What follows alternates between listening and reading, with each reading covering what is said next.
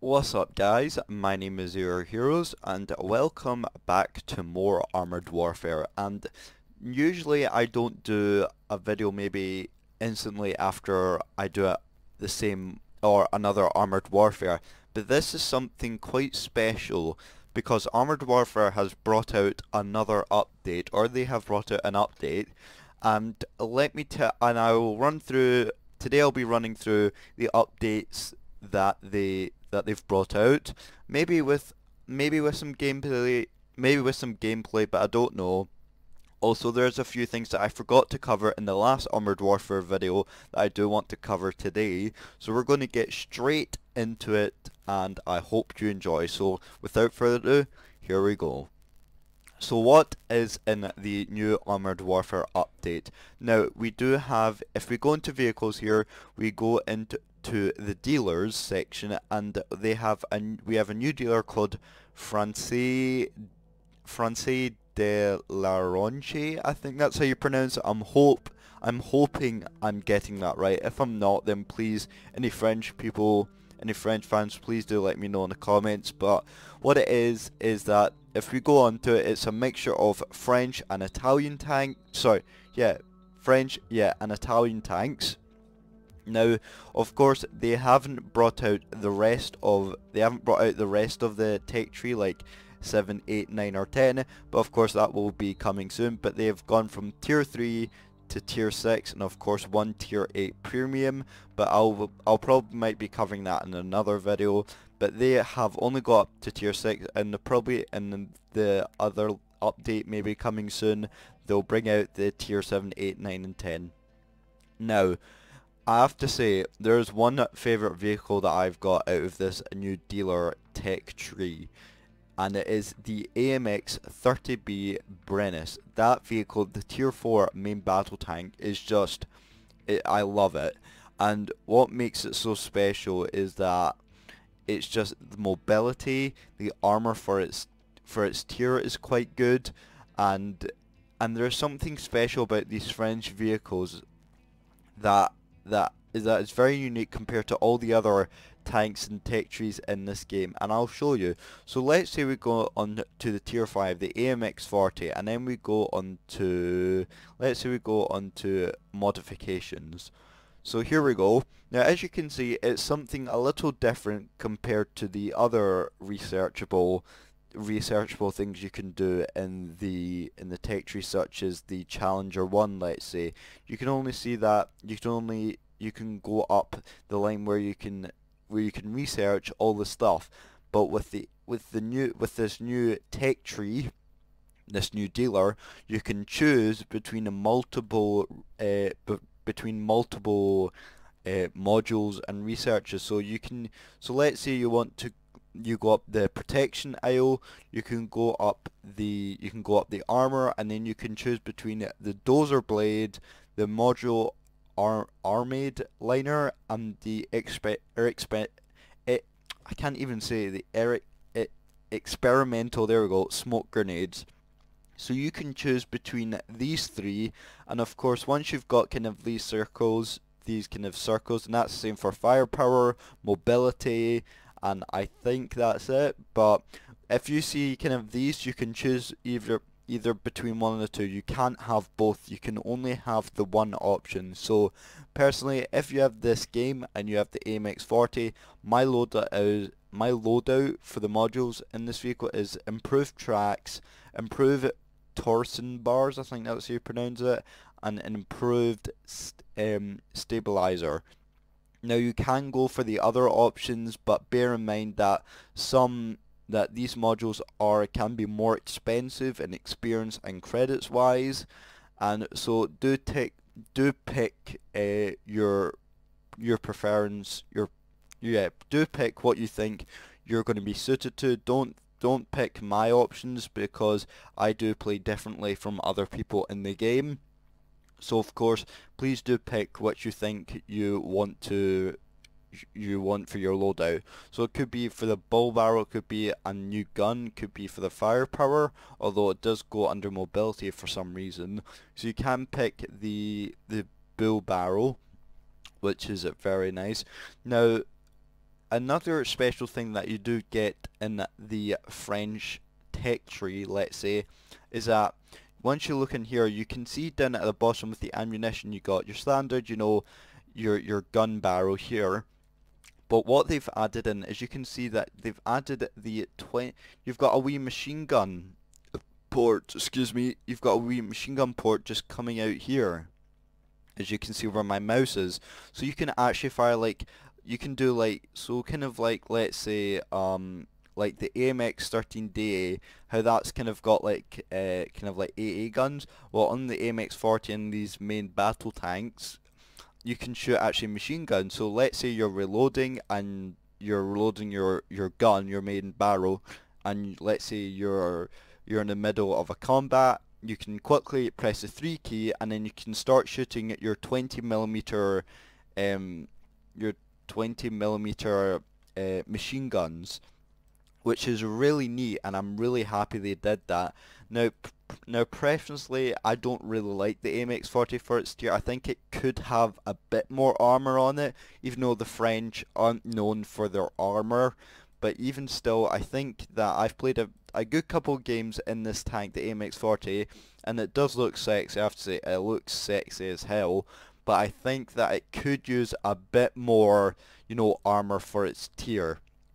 Now, that is really that was the tech tree that was the french tech tree. So you do of course have the italians as well which is the OF-40 another uh, tier 4 italian main battle tank. So if we look at that you can see that it's not as you can see i i actually have the vehicle myself if i here it is.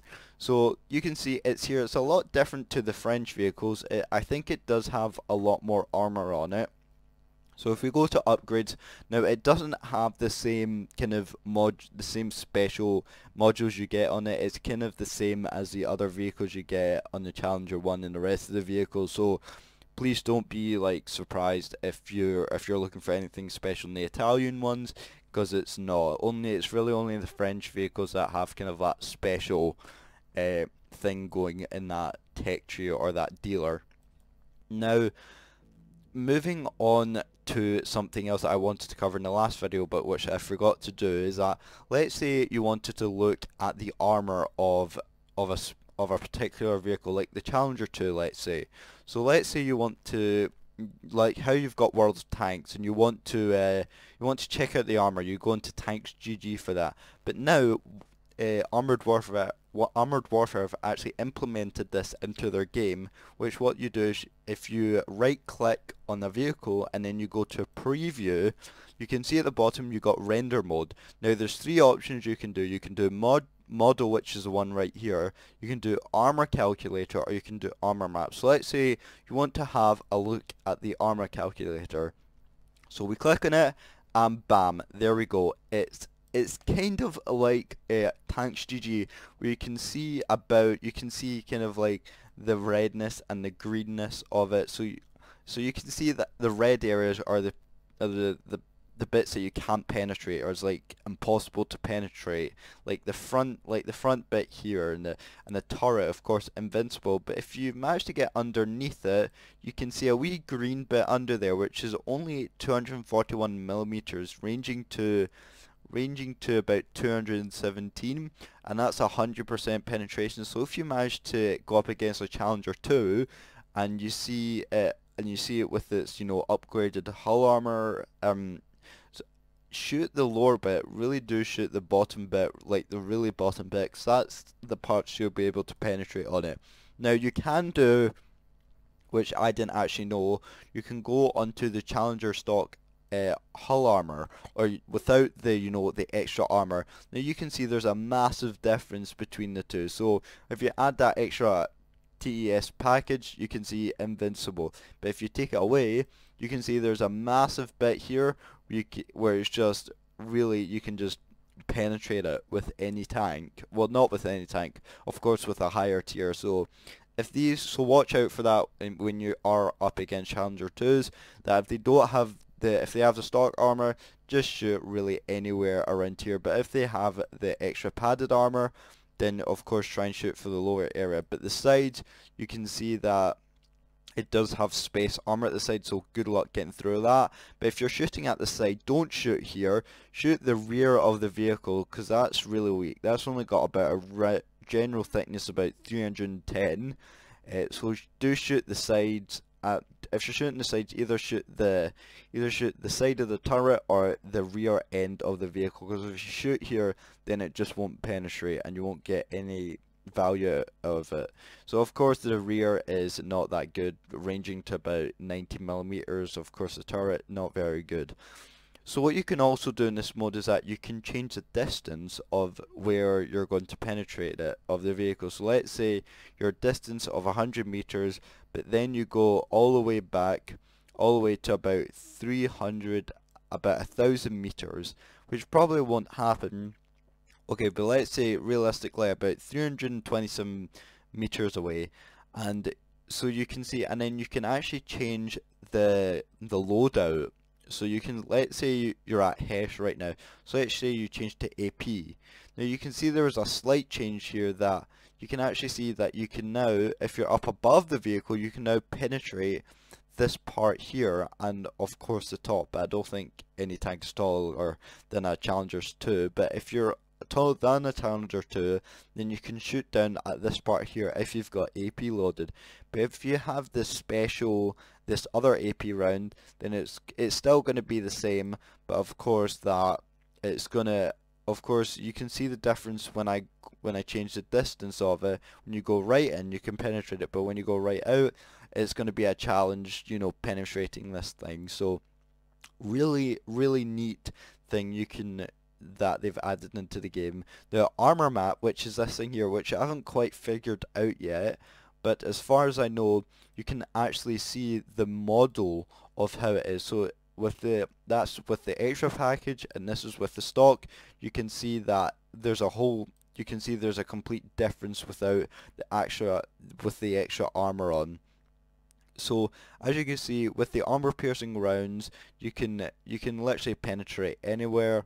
Uh, the yellow parts I presume which mean that it's slightly going to be harder to penetrate but let's say you go to HE1 then of course it goes a lighter blue which means that you can see here the scale showing effective, effective armor thickness taking into account the selected ammo.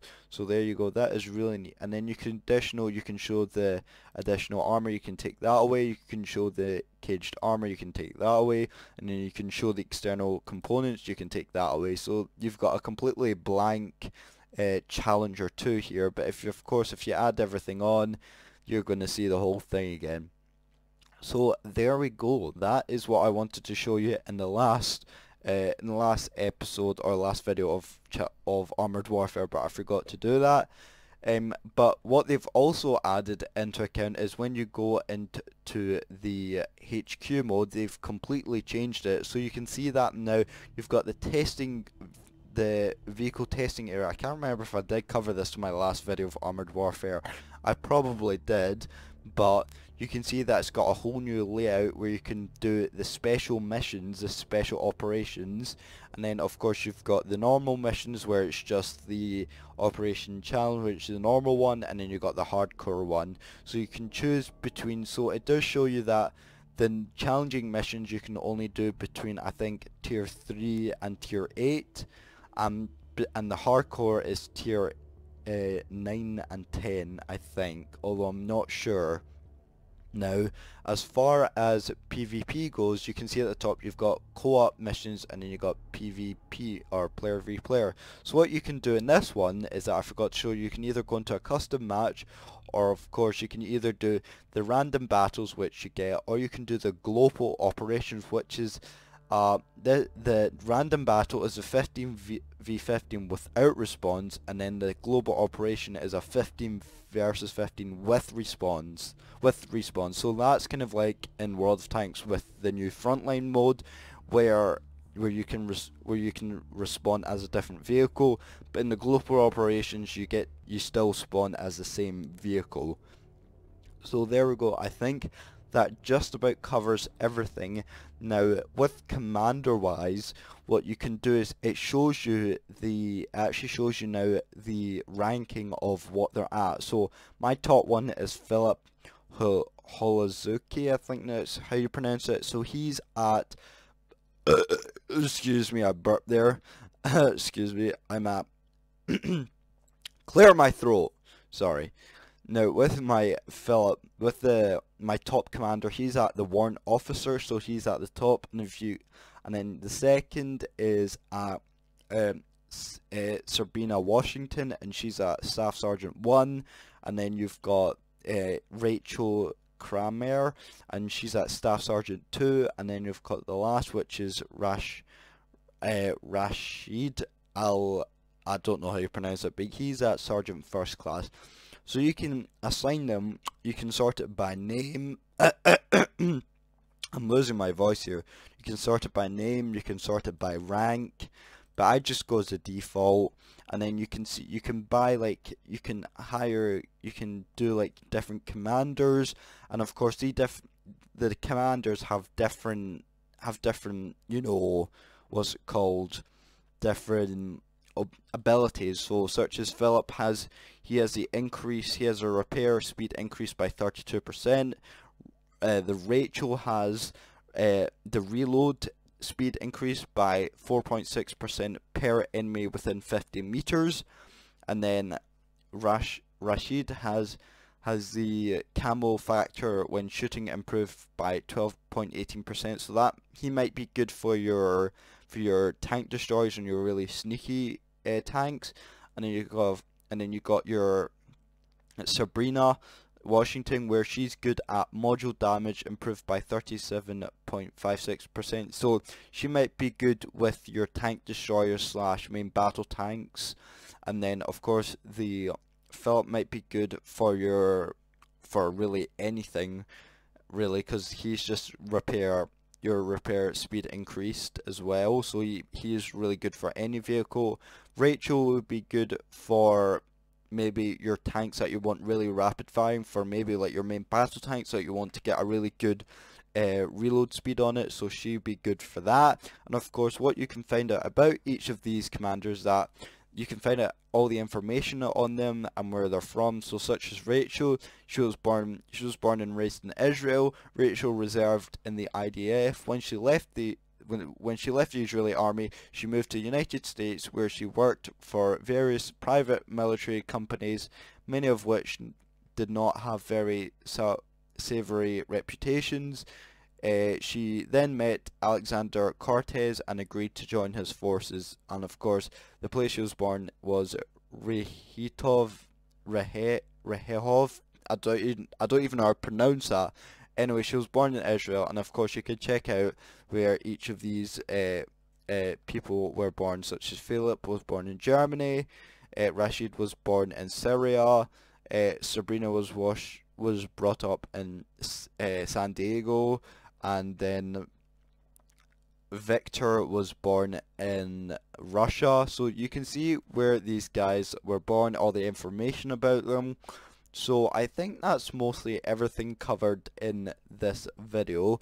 Now boosters, what you can get for boosters is that you can get supply crates when you when you win uh, special missions or that and then you do get premium time and that's why I have 30 days of premium because you do get uh, uh, you do get premium days in these crates, you get gold, you get credits, you get boosters such as the ones that I've got. So the boosters are kind of like in kind of like similar to World Tank where you get 50 reputation, you get 100 100% of reputation, you get 25% XP, so you can get a whole bunch of boosters, but you'll have to win them in supply crates, which I think you'll have to do for your first times two or first times four in the game. But there we go, I think that mostly covers everything in the game. Now, for crew-wise, I forgot to say that you can't, I think it is, the crew is still the same, where you can choose their skills, you can choose a maximum of two skills for your vehicles, and of course, I think if you want to reset your your crew, let's say you don't want your off-road driving, you just press X here, and of course, you can exchange it for something else, um, in for another for another uh, ability or another let's say battering ram or something like that. So as you can see you can see that this guy has traverse speed plus 3% and then terrain resistance plus 6% and let's say you want to go to the gunner he goes plus aiming speed 6% and then tra tra traverse speed plus 3% and let's say you want to go to your your loader he's got a plus 1.5% rate of fire so yeah, you can choose between different uh, ammuni- uh, different uh, skills, not ability, different skills with your driver, commander, and and every you know crew here. So you can definitely and even promote the crew if you want, but I don't think that's not until later. And then customize, you can customize the the crew I think. But yeah you can customize your crew to a different name if you want or you can change the different avatar let's say if you don't want this one or if you don't like the names you can change you can change it to a different name. But I'm not I'm just going to leave everything the same. But there you go ladies and gentlemen. I think that mostly that probably just cover actually everything in the game. Uh, decals let's say you can you can hire out decals. So let's say you want a camo you want this one you can hire out. You can either keep it for 225 uh, gold or you can or you can keep it for 6 million uh, coins which is a lot. You can rent it for 30 days for 520,000 uh, credits or you can rent it for 7 days which only costs 260,000 credits. That's still quite a lot but of course, I won't be doing any of that because I'd rather buy gold for it than pay 6 million credits to keep it. I think War Armored Warfare should lower the price on that because that is quite expensive. That's probably, actually 6 million credits, that's, that's probably as good as buying another vehicle, let's say. That's probably as good as, that's actually more expensive than a tier 6 uh, main battle tank and probably and roughly ex as expensive as a tier 7 main battle tank. So it's quite expensive that but there you go ladies and gentlemen. That is today's video. I'm sorry there was no gameplay but I just wanted to get as much covered as whole as much covered you know about the new update as possible so yes, that is the new update on Armoured Warfare. The French and the Italian vehicles are out and I'll just give you a quick show of them as well. By the way, this is the tier 5 one, the Italian one I think. Oh no, is this a French? Wait, no, I think, no that's a French, yeah. So yeah, that is, this is a wee French, uh, our, uh, we AMX 13 CDA and of course once you hover it, it hover over it it shows you the sustained damage, the defense, the mobility, the utility, you, yeah, utility, and the targeting. And of course it shows that the armored fighter vehicle are suitable for movement, the features are an autocannon only, weapon selection and powerful HE ammo. So it does give you perks, it does show you the perks of all the different vehicles of course. So yes I do, but I have to say my favourite vehicle in that French in the French tech tree is this, the AMX 30B2 uh, Brennus, but you can, but with the French vehicles, you can shoot up to tier 4, you can use, you can switch between your AP, your, you know, your normal AP gun, your 105mm AP, going to all the way ranging to your 20mm uh, we DM your wee machine gun. So I do like that, and I and I do want Armored Warfare to add more into the game, more, you know, machine guns into the game. Because as you can see, you know, it's, uh, I, I don't know what other vehicles have it, such as maybe like, you can see even the, the Type 59, you can see it's got like a wee machine gun there, I think that is. So maybe they can add more machine gun into different vehicles and not just the French vehicles. But I like how you've especially just put that for the French vehicles, so well well done to uh, Armored Warfare there for doing that. But there you go ladies and gentlemen, that is the update for Armored Warfare. I forgot that there is no sound, so I'll probably need to add some more sound into my more add sound in myself or something. But anyway guys, I hope you did enjoy and if you do want to see some Armored Warfare gameplay then please do let me know in the comments below. But anyway guys, I'd like to thank you so much for watching and all your support and I will see you in the next video. See you later and goodbye.